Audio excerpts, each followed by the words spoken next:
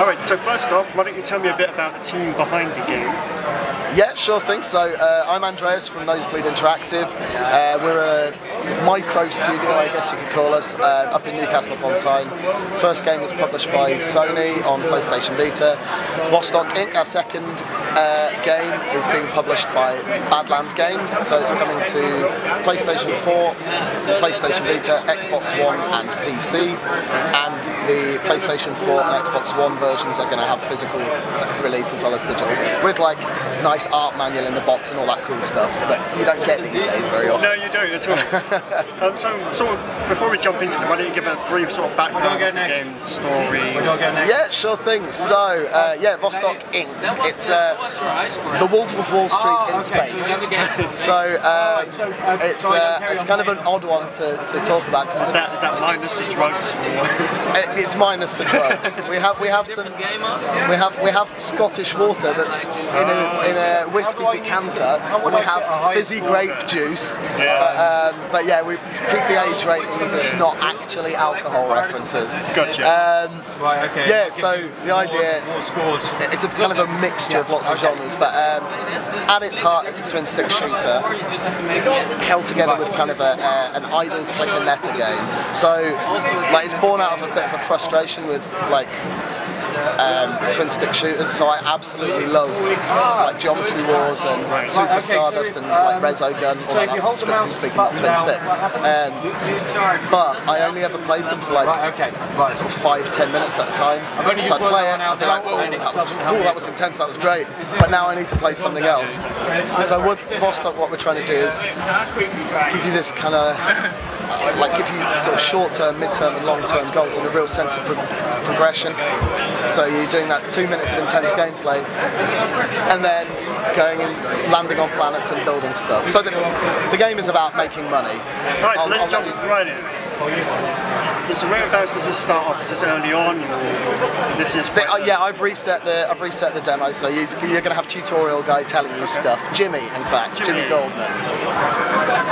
So yeah, He'll show you the ropes and help you make oh, Vostok the richest, most awesome company in the galaxy. No, the world. So left stick to fly about, right stick to shoot. Uh, right, oh yeah, the tutorials are slightly broken. You know, work in progress. Um, right trigger to boost, and then later on you can unlock some stuff on the left trigger, so you can unlock bullet time. But we'll do that later on. I'll let you have a play first. Um, so the idea is everything in the game, every, everything that you shoot, every baddie that you kill, although actually you're the bad guy, so every goodie that you kill. Oh, right. Um, drops moolah, which is the universal currency, and you use that to upgrade your ship and build stuff on planets to generate more moolah. So this is your store for upgrading your ship. Not got any cash at the moment, so it might be worth having a fly about some. I think there should be some asteroids up the top here somewhere. Yeah, so there we go. So shoot at the asteroids, um, and they'll drop moolah. We do quite a bit of sort of under the hood stuff in the game, and we do a few things to frustrate the player as well. Um, intentionally so that we then have some solutions to those frustrations that the player just for example when you build stuff on planets you'll you have to go back there to collect it the like collect the cash that you've generated um, like a cap on the no no you can make well it does have a cap but you would have to play the game for thousands and thousands of years I think um, so we go up to I, I think we go up to just in terms of the naming of the money, I think we go up to something like 10 to the power of 105 or something like that. I, I can't even remember what those are, but it's like, you know, I think we, I think in terms of real playthroughs, you should be topping out at like octillions or nonillions or decillions, but we keep going in terms of what the game can, can do. Ah, so because you killed the first guy, I'm spawning a bit of storyline here, so it's not United very... Federation of Solar. Yeah, UFO. so was there any sort of, um, with the art style, was there any back and forth with different styles, or were you quite set on the one style from the get-go? Do you know what, we, like, the game started life as a kind of a, um, like an internal game jam, so we, we had the core mechanics of flying around, shooting stuff, collecting stuff, landing on planets and building stuff, like, within the first day, and and our artist was actually on holiday, so it was just sort of two of us doing it. Um, I'm not an artist, although I've done quite a lot of the UI and stuff.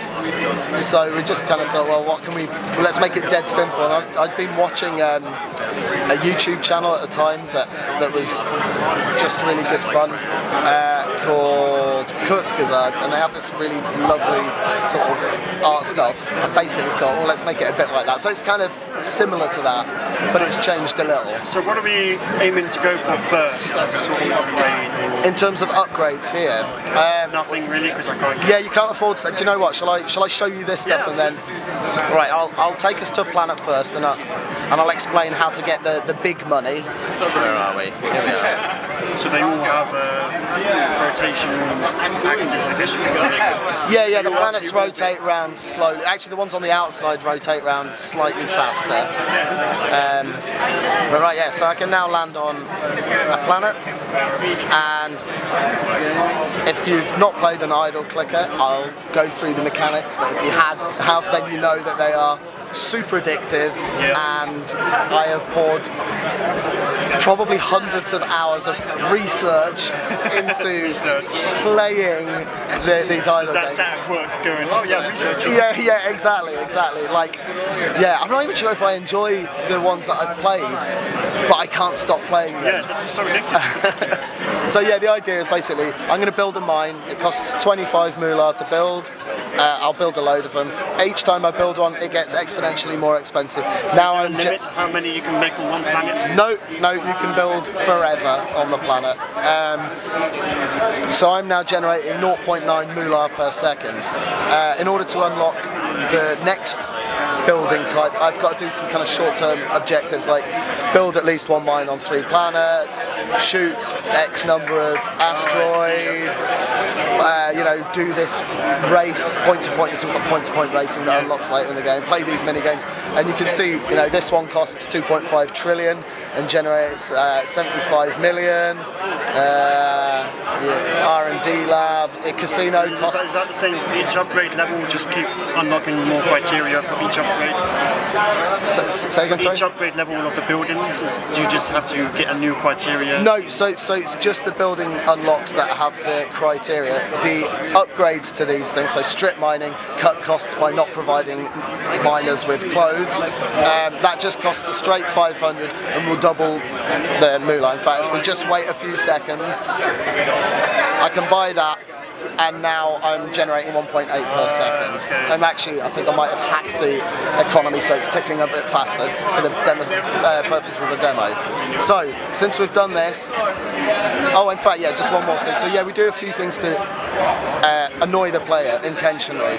So, at the moment, if I take off from here, I can pause the game and the game's still generating cash. So I can go make a cup of tea or have a have an interview, Yeah. um, and the game is generating cash. However, I have to go back to the planet to collect that cash. Just at the point that that starts getting frustrating, you'll be able to afford the thing that automatically collects it for you.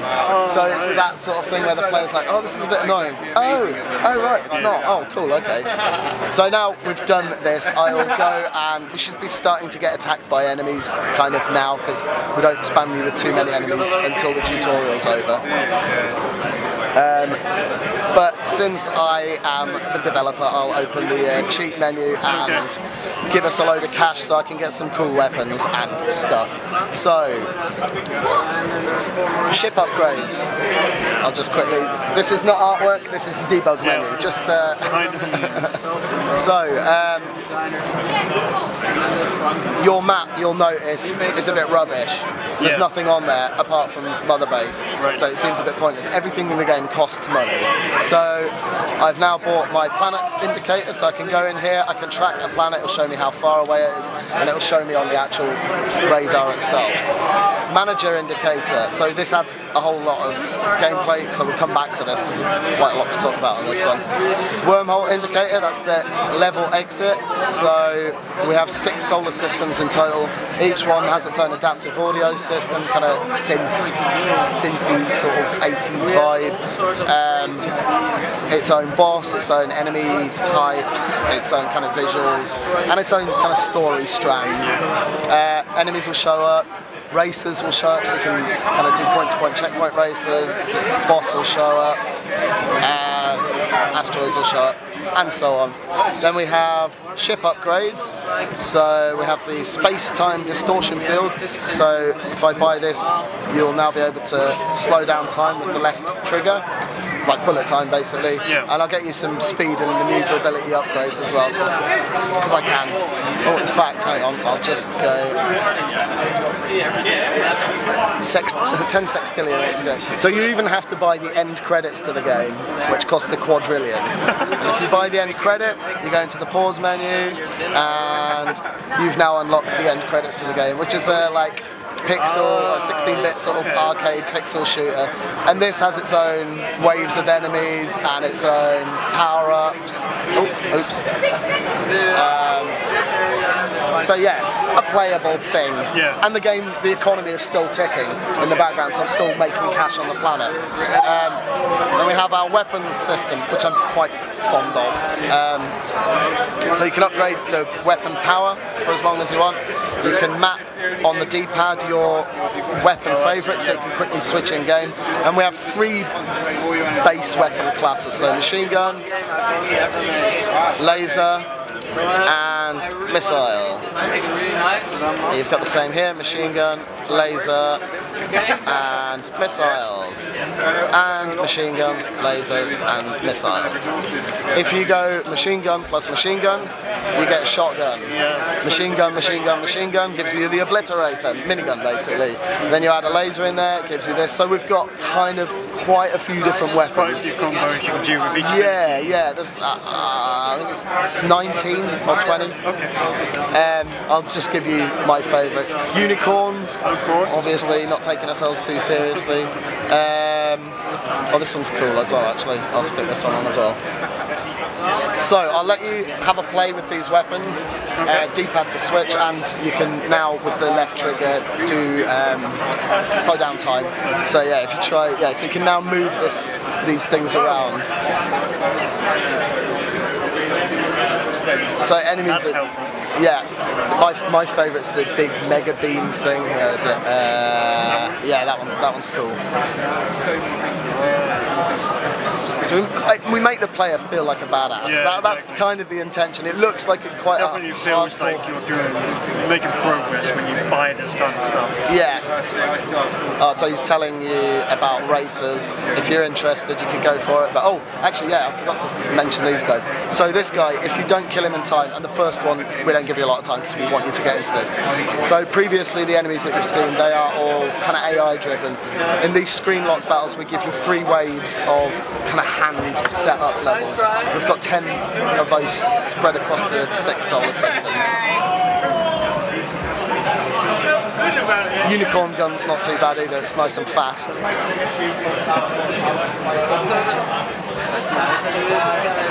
So it sort of turns into a bullet hell.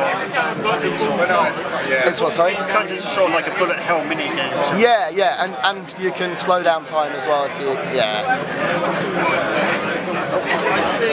Like I say, we kind of empower the player, Yeah. try and make them feel like they're a badass. I mean, the, the sort of leveling is, is out of whack now because we've cheated and got too much money and bought a load of guns that we shouldn't really be able to afford at this point. But and also, you with a ton of uh, money. burnt 73 salads. Just have some, some nonsense stats in there. It's the only stat that I ever read is the nonsense one. Um, Would it be wise to go for a boss or that you can do, yeah, yeah, you'll be able to with these weapons. But um, just before you do, there should be a, a manager turn up at some point soonish. So there'll be like a little yellow blip and tutorial guy will tell you about it because it's the first one. Um, yeah, so if you race to this guy, we've got a few different manager types, but the most important ones are the execs, and hopefully the first one will be an exec.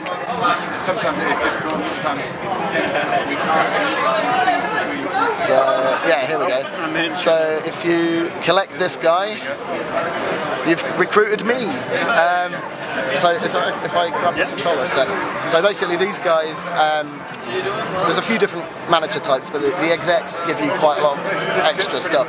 So the idea with these is they give you a production boost when they're happy. I don't know if you remember Tamagotchis at all. Yeah, yeah. So um, Um, basically, you keep me happy. It's me in a hot tub full of cash, actually. It's literally a Tamagotchi. So you, I've not got any of the items, but basically you keep them happy by giving them like champagne and caviar. Well, not champagne, fizzy, fizzy grape Fizzy juice. grape juice, yeah. uh, but caviar and you know sports cars and that sort of stuff. Um, and each of these has their own little mini game as well. So you know they're kind of uh, I can't think of the name of this, but yeah, I know what you mean. Timberman, which is bloody brilliant. It is. And everyone should go and download the mobile version of Timberman, which we are paying homage to rather than ripping off. Yes. I'll unlock all of these actually. So we've got um, 12 So where do you go to buy the fizzy grape juice to keep them happy? So you get very rare drops from uh, enemies, but you also earn them from playing the mini games. So uh, Cave Chopper, for example, that's my daughter. Cave Chopper in this one. Um, you'll get basically you'll get these little food items coming across, and you just collect them. So you kind of I'll just give myself game over. Yeah, so we've got a whole bunch of these, like you know, we've in fact we've even got a twin stick shooter in a twin stick shooter, Oh, okay. zombie combat. Uh, and yeah, these get faster and faster as time progresses, so you're always going to end up with game over. Uh, everyone's favourite one seems to be this one though, Space Laser. So A to start. Oh, okay. Oh, not doing too well. Oh,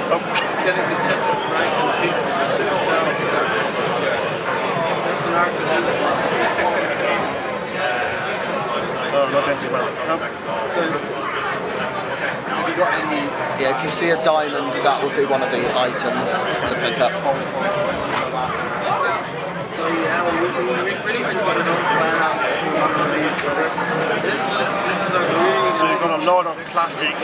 Yeah, Arcade yeah, we kind kind of of. games in this. I'm, I'm a, I'm a total sort of old school gamer and new school gamer. Okay. Yeah, see, they don't sell alcohol at this bar. It's water for 39, eu- 39 moolah. It should be. Cola, 599.99. Um, yeah, so that's, that's kind of Vostok Inc. I mean, take to a boss fight if you like. We're totally overpowered for this boss, so it's going to be over in no time. Um, So where is it? Somewhere here. Oh, actually, get ready. That's it. One big thing we're working on now is getting global leaderboards. And what you unlock by defeating this boss is just access to new areas. Yeah, access to the next solar system. So the boss will only spawn when you've got enough money to Okay. buy the wormhole. And in order to use the wormhole, you have to have defeated the boss. We did have some fancy key name thing, but I can't remember what it was. It's somewhere. It's somewhere in there. Um, I think. Or did we decide not to bother? Yeah, so I'm, I'm sort of beating Yeah, this way too quickly. Yeah. So we, we have this combo system as well. So the higher like you'll see I'm doing like 1.4 damage. The higher your combo rises, the more damage you do. And so certain weapons are really good for building combos or maintaining combos and other ones aren't. But you can kind of quickly switch between the two. And then, Nice. so yeah, that's Vostok Inc. Thank you. Thank you very much. Cheers.